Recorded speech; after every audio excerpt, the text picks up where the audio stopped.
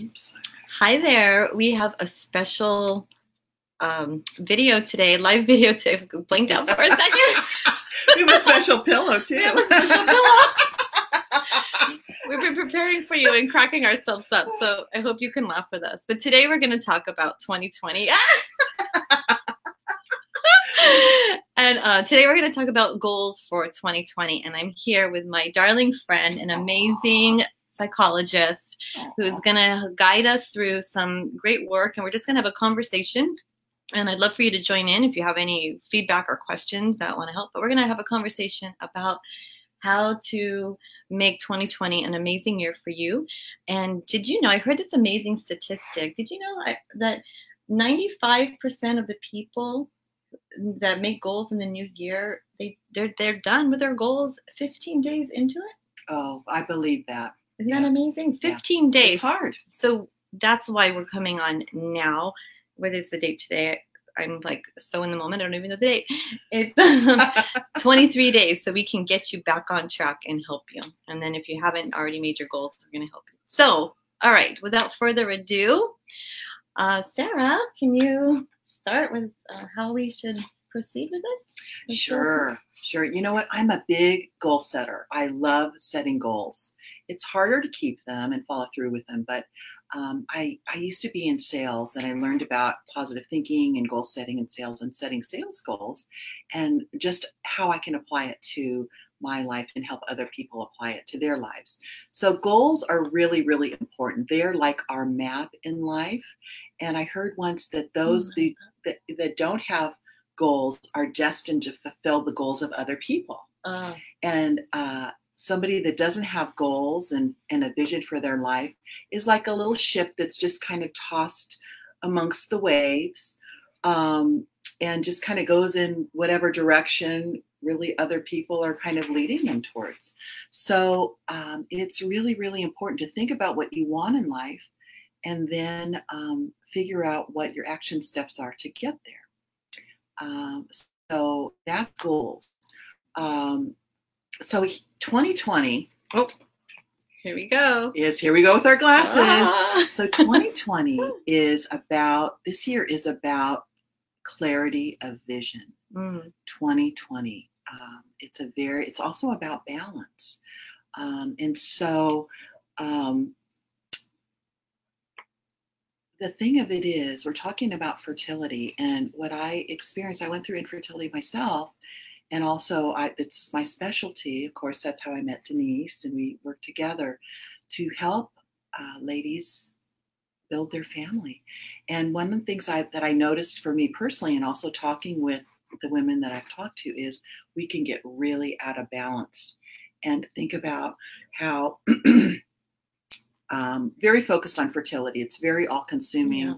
spiritually, financially, emotionally uh, psychologically. So it's important to have fertility goals of, of what you're going to do and how you plan to do it, um, but also to have other goals in other aspects of your life um, so that you can create and experience that balance and doing things that give you pleasure and feeling a progression in those other areas too because that's another thing about infertility is we can feel very stuck yeah. developmentally uh, everyone else is going on having baby number one baby number two baby number three and we aren't doing that and it can be very isolating so um, i like having goals thinking about goals in uh, various aspects of life. So, um, goals as a couple, goals, spiritual goals,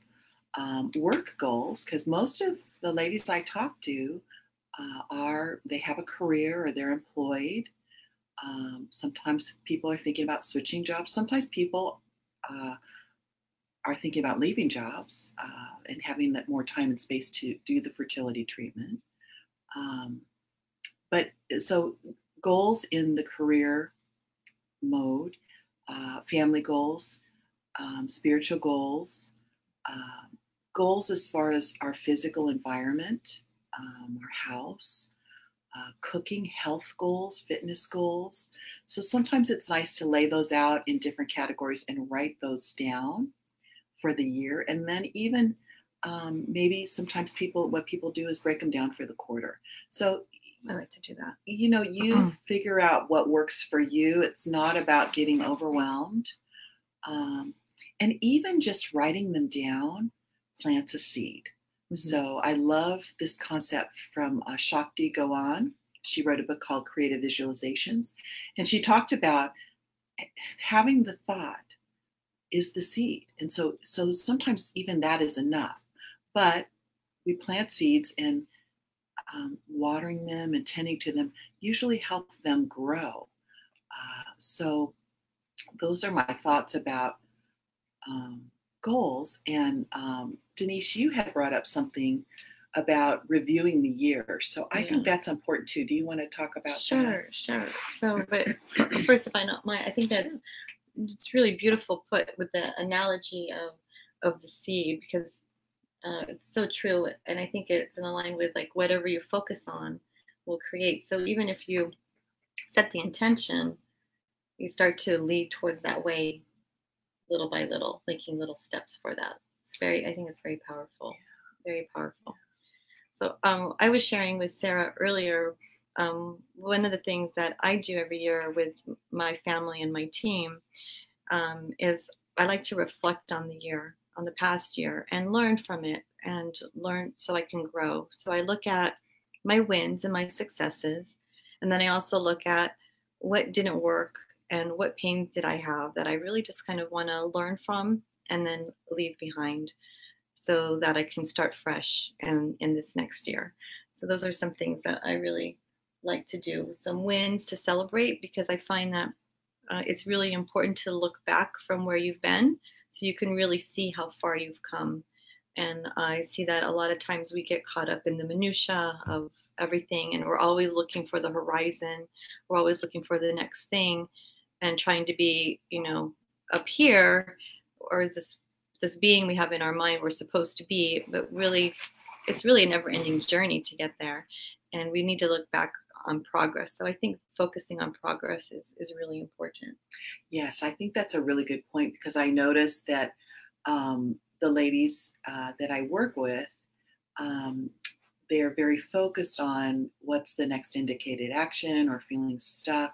And I sit there and I just feel so honored to know them and hear their story and see how much they've, how far they've come, how much they've progressed. And, um, and so I think having that personal reflection is important because we can get so swept up into the next thing.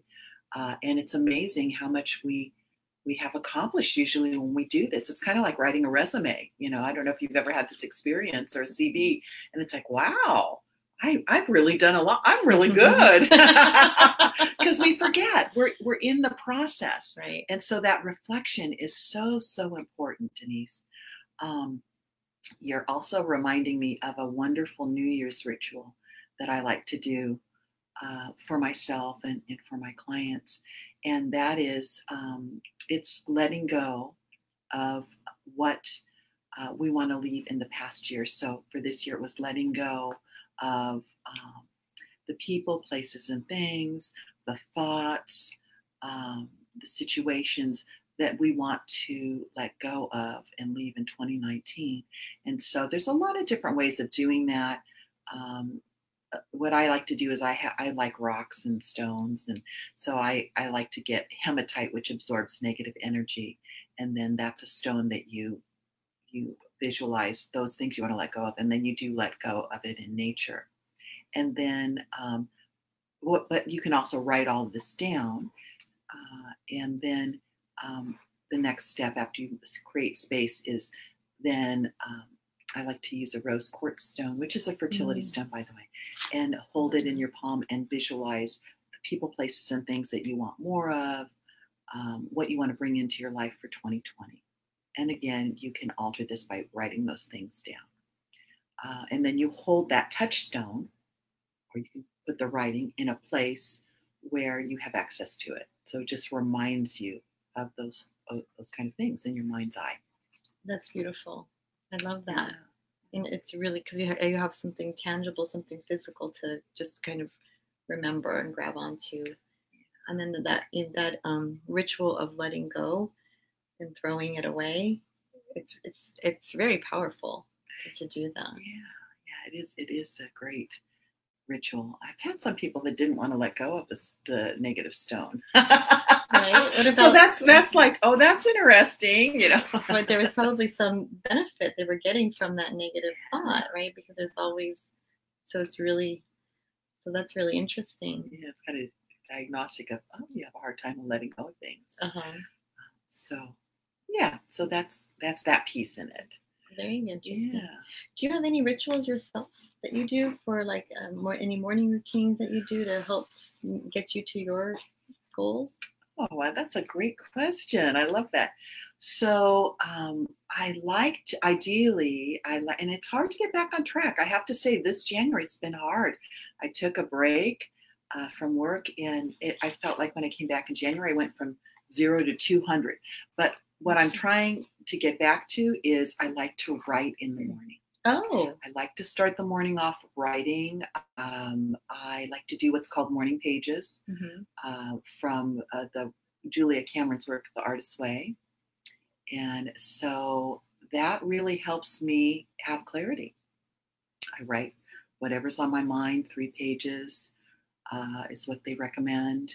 And sometimes it's list of to do lists, it's my feelings, what's going on in my life. It's a great kind of a check in first thing in the morning, and then I can move forward in my day. I also like to swim. oh, you do. I like to swim. That's my exercise.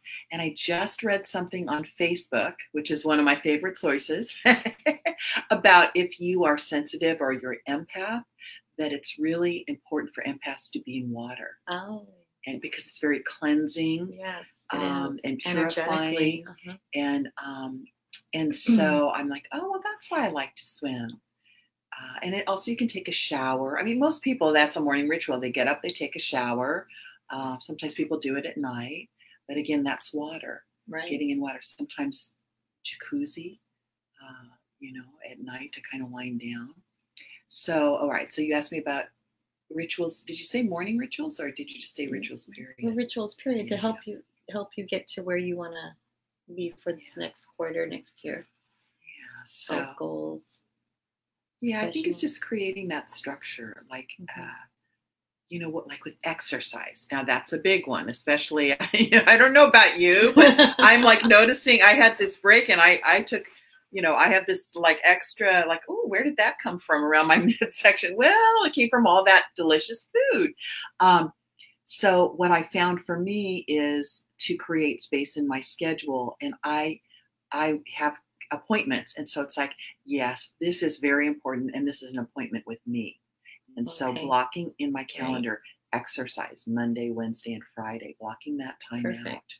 Yeah, so, So that's helpful. so important to calendar it. I always say if it's not on the calendar, it's not going to happen. We have to calendar our self care too. Absolutely. And it's important.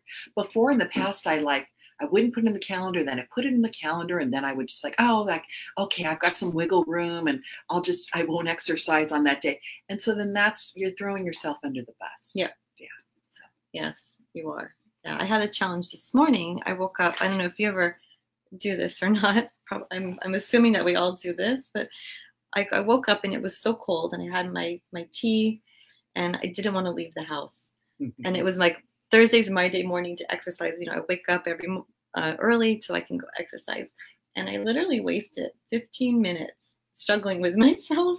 Do you, you need to go? You won't go later. Oh, I can go later. Oh no, you're so cozy now. Oh no, you need to go. I went, so but I was able to to manage that because I started overthinking it. I find that sometimes when you're doing some of those things that you don't necessarily want to do, but you know that will take you there to keep you in your in alignment with your goals, uh, you just you just got to do it and not think about it. Yeah, and you know, um, you're reminding me of a couple things. One is that I'm I'm trying to get have the discipline to do the exercise, and I did go Monday um, swimming with my daughter. So wonderful, and I felt so good afterwards. And I was had a conversation with myself like, why don't you keep doing this? You feel so good. It just made the whole day wonderful. Yeah. So, um, you know, these are the things that help us stay on track. You Right. Know? Uh, Staying in touch with how you're going to feel, what your alignment is at the end, and not necessarily at the beginning, right? and working that self care in. Um, and it's simple things, you know, it's simple things uh, like uh, having your favorite tea and in, in a coffee cup. Mhm. When I did The do- rituals. Yeah. When I'm doing my writing in the morning, I used to go out on the patio table when it was warm and listen to the birds and write there. Uh, and now it's so cold. But what I've been doing is I turn on my fireplace Oh, that's nice. and I sit by the fire and I'm like, gosh, why didn't I do this before? It's like, oh, you know, oh, fireplace only for company. No, Yeah, no, I'm important too. yeah. And it's just something that, that is soothing and gives me pleasure. Yeah. And when we're going through infertility, we need to really do those things that fill up our well because it's so depleting. it's so depleting, right? Yeah. Right. Very good. Should I talk about vision boards or did you? want- Yeah, why don't you? So I am another thing I learned about was vision boards, and I love vision boards because they're they're a little bit different than goals. They're they're bigger, they're visual, um, they're global, and so I like to do a vision board every year. And sometimes some years I've altered a board I've done before. Um, but when I was going through my treatment cycle, I did a fertility. It was specific to fertility and um, it was just so powerful. I had um, I had like healthy fertility foods on the board and exercise, and my support group was on there. Resolve was on there. Um, you know, acupuncture because I was doing acupuncture and I believe in that. And then I had a picture of Christie Brinkley, Christie Brinkley. yeah, I think she was pregnant with Sailor at the time. And I put my a picture of my face on her pregnant body. Oh, And it was kind of scary to do it. It's like, oh, you know, I don't know. But it worked. It worked. It was so and, and she looked really good too. yeah, I bet she did. She's amazing. And so um, it was just a great visual that I had amongst the other visuals as far as um, how I wanted my life to be, how to manifest it. Um, and again, with the vision board, oh, I love you in these glasses. Put mine on. You know, it's um, all areas of your life. So you get to dream. You get to. Um, so let me. oh, I've got to take these off. Um, so a vision board, what you do is you take uh, a piece of. Uh, uh, you can be different sizes, but some sort of piece of paper, and then you go through magazines and you pull out images that represent what you want to have in your life. So sometimes you have ideas of things that you definitely want. Like for me, I wanted my sports car. And I this was my dream car. And so what I did is I did Google image. I, I Googled it, I I printed out the image and I pasted it on the board. And I got the car, you know, and I was able to take it off because that vision was accomplished. So you can do those kind of things that are very specific. Yeah. And then also too, I think it's good to have that dreaming time, that kind of looking through. Oprah's one of my favorite magazines to look I through, love and Oprah. yeah, and and yoga magazines and health and shape and fit, and and looking through at those images of what you aspire to. So that's what I'll say about vision boards. That's And, and then post it in a place where you can see it. Maybe take a picture of it, have it on your phone. You want it to be private because you don't necessarily want people going, What's that? You know, oh, why do you have that? Um, it's for you. But it's a reminder to stay focused on Keep your eye on the prizes. keeping your eye on the prize. What you focus on was what you're going to see, right? Yeah. Exactly. Yeah. So that's great. That's a great exercise. I love doing the vision boards. It's so powerful. Again, it's one of those things about setting your intention. Yeah. And it's interesting to do it with your spouse. I'm just thinking that my husband did one and I did one, and it was interesting to see what his looked like. You know, there were things that were overlapping that we both had on our boards, and then he had certain things that were specific to him. Yeah. So, So I would make a suggestion while you're making goals. Tell me if you agree or wanna um to like would you I always like to do like a, a five year goal, one year goal, but then breaking it down even more. And I find myself so something for me this year is like I feel like for example, I should be at the top of the staircase. Like I want to skip somehow. I want to jump from the bottom to the top of the staircase and like skip all the stuff in between. Right. So I find that becomes overwhelming and um, and, and stressful. So I've been able to, for me this year, is prioritizing. Mm. and really figuring out what I want to do and what I can really manage on my plate. And so I'm breaking it down into quarters. Oh, nice. Like the you actually mentioned that earlier and then seeing like what are my top three things that are going to move the needle the most for me this year and this quarter and then once i attain that then i can make the next step and just kind of break it down so i'm trying that this year that sounds excellent denise that's really specific it sounds like you have you're really thinking about what are the priorities and what are the actionable steps and sometimes yeah. those steps are step one, step two, step three. Do this first and then move on to this and then right. move on to this. So I think that's really very specific. Yeah. And and that's really helpful with goals. Um, I think, you know, don't let it stop you folks uh, if that begin where you are. Yeah. Denise is an advanced goal setter. oh, is that advanced? And, but so it's okay to begin where you are. Come enter into this, just like Shakti says. You know, it starts with a seed. Yeah, um, I love that. Yeah, I, we use yeah. that a lot in fertility yeah. when you're preparing the body to get the soil ready. Yes, yeah, and so it's and sometimes the seed just kind of blows out and it kind of blows in the wind. But if you plant it specifically, and that goes with fertility too. yeah. Um, and so but begin where you are begin where it feels comfortable where you can enter in and be gentle and kind with yourself because the goals and the vision boards aren't aren't designed to beat oneself up right so important you know? because sometimes like when i've done vision boards i'm like oh I, I you know i don't want that anymore sometimes it's it's really like this process of putting it out there and sometimes it's like well no that's not what i really want Mm-hmm. You know, the goals can switch, switch and change. That's why it's good to you know take a look at them too. Um, so just be really good and gentle with yourself. Begin where you are, uh, and then nurture and direct the seed as much as you're willing and able to. Beautiful. Can I ask you a question? Yeah. So, how would you um, suggest somebody, you know, because I believe that you want to set yourself up to win but at the same time you also want to stretch yourself a little bit. Mm-hmm. so how do you how would you suggest you can do that without failing? Because you don't want to and knowing where where you can stretch you know do you know what i mean? I totally i'm laughing i'm smiling. I'm smiling. Um, you know there's such value in in uh, in years of experience yes one of the things that i've learned i am a very impatient person. I, you probably know this about me already.